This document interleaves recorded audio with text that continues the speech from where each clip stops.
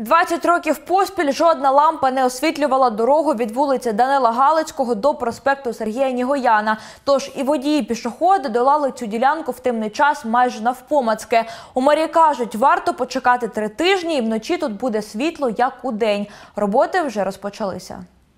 Вулиця Маяковського. Зазвичай тут активний рух транспорту. Аби не заважати водіям, комунальникам довелося пробиратись через хащі. Снизу очень большое движение и светофор. Значит, будем переезжать только по верху, доставать, э, насколько э, хватит вышки, то есть 17 метров.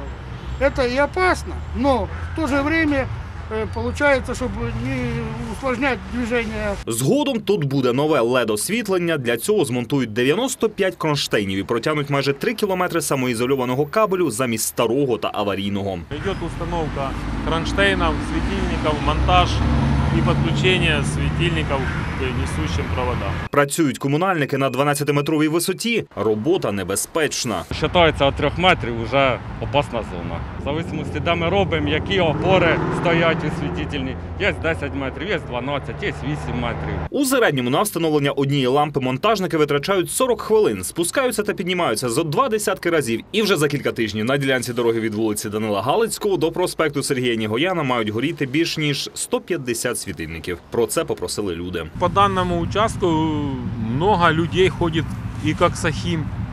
Много очень, что пишут тут именно. Не освещена там остановка, как Сахима, Дезимо, там проход вдоль от завода Коксахима, допустим, человек идет на, на проспект Свободы, ему темно идти в ночное время, там с ночной смены. И было и много, и ни одно обращение. Автошлях від вулиці Данила Галицького до проспекту Нігояна не освітлювався останні 20 років. Тож проїхати цю ділянку дороги і для водіїв було справжнім випробуванням. Це при тому, що шлях об'їзний для автівок, що рухаються з боку Харкова на Олександрію та Кропивницький. Комунальники обіцяють, шлях має стати світлішим вже із середини листопада. Олександр Тущенко, Василь Самовар, Open News, телеканал відкритий.